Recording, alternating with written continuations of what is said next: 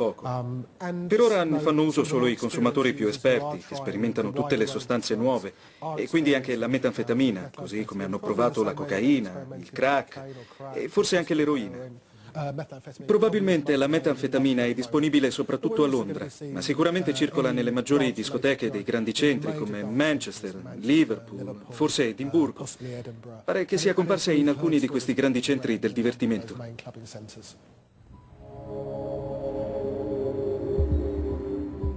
Siamo allo Smithfield Market di Londra.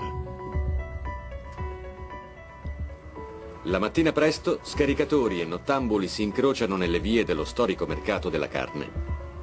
Mi hanno riferito che da poco la metanfetamina è in vendita in due locali di questa popolare zona di ritrovo notturno. Nel primo locale facciamo fiasco. Davanti al secondo facciamo la coda per ore sotto la pioggia. Neanche lì troviamo niente. Eppure, secondo alcuni frequentatori, la droga sarebbe in vendita sotto forma di qualcos'altro. Entrambi i gestori dicono di non aver mai notato vendita di anfetamina nei loro locali e di seguire scrupolosamente la legge sul controllo delle sostanze illegali. Più tardi, Ben rintraccia due consumatori che gli sono stati segnalati da conoscenti. Di solito quando vado alle feste mi faccio un paio di pasticche di ecstasy. Mi hanno offerto della metanfetamina facendomi credere che fosse speed. Le notti da incubo sono incominciate allora. Ho fatto un paio di tiri e mi sono sentito subito molto su di giri. L'anno scorso ho acquistato un grammo di meth cristallino che mi è durato quattro mesi. In pratica ti distrugge fisicamente più di qualsiasi altra sostanza. Il problema principale del meth cristallino è che non puoi prenderlo alla leggera per molto tempo, perché ti distrugge letteralmente. Non avevo mai assunto una sostanza che mi facesse sentire così spaventato e così predisposto alla violenza. Ero convinto che gli altri volessero aggredirmi e quindi volevo anticiparli. Questa droga non fa per me. Forse è adatta a chi vuole andare in giro a scatenare risse. Siamo a Knutsford Crown Court. Qui si è concluso da poco un processo poco pubblicizzato. L'imputato, Gary Chambers, si è dichiarato colpevole dopo essere stato trovato in possesso del più grosso quantitativo di metanfetamina mai sequestrato nel Regno Unito. È qui? Sì. Qui dentro sono state trovate circa 10.000 pasticche di ecstasy, che state vedendo.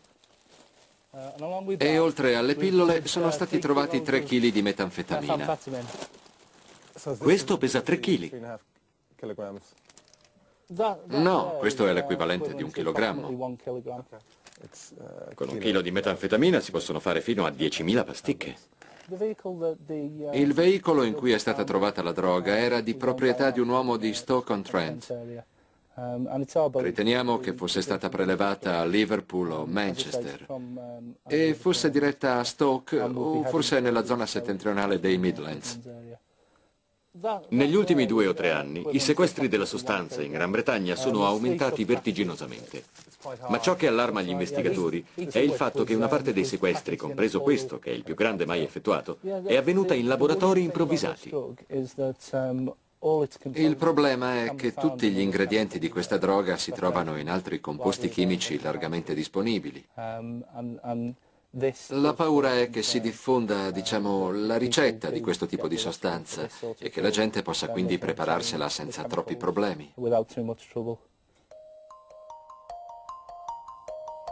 Trovare gli ingredienti e acquisire la capacità di trasformarli in metanfetamina è spaventosamente facile e purtroppo le autorità possono fare ben poco per impedirlo. Su internet ho trovato descrizioni dettagliate e persino libri di ricette che non hanno niente di diverso dai libri di cucina. Tuttavia c'è una differenza importante. Gli ingredienti della metanfetamina sono molto instabili e mescolati nel modo sbagliato possono provocare grosse esplosioni.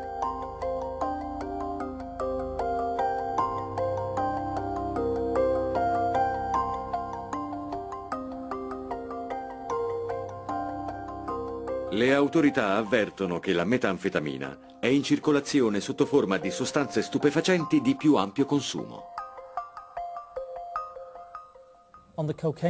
Gli spacciatori la vendono tranquillamente ai cocainomani, uh, facendola passare per cocaina sintetica. Um, e riescono a venderla addirittura allo stesso prezzo della cocaina. Abbiamo trovato pasticche di metanfetamina con il marchio della normale ecstasy. Il simbolo della farfalla, per esempio, è stato trovato su una partita di pasticche di metanfetamina. Spesso nei locali viene spacciata per ecstasy.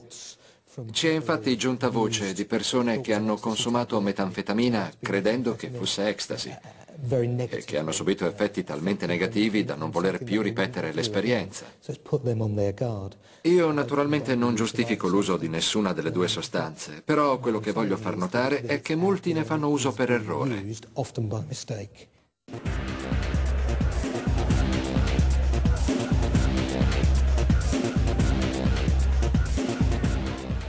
I più a rischio sono i giovanissimi che probabilmente l'acquistano nelle discoteche. Essendo inesperti non sono in grado di distinguere l'ecstasy dalla metanfetamina.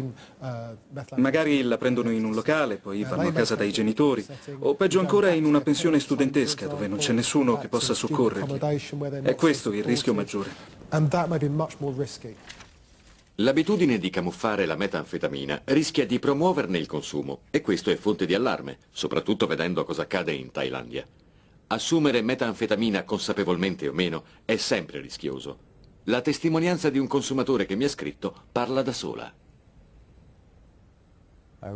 Spero che questa merda non diventi la prossima grande moda, perché sarebbe terribile ritrovarsi in mezzo a una folla di metanfetamina dipendenti. Quella porcheria può uccidere, e non solo la persona che l'assume, ma anche chiunque entri in contatto con chi ne fa uso. Io ci sono passato e non vorrei mai e poi mai ripetere l'esperienza. Ho buttato via tutto, rifiutandomi di regalarla. Ma un mio amico se l'è procurata lo stesso e una settimana dopo si è buttato da un ponte suicidandosi. Spero che il quadro sia chiaro. I hope you get the picture.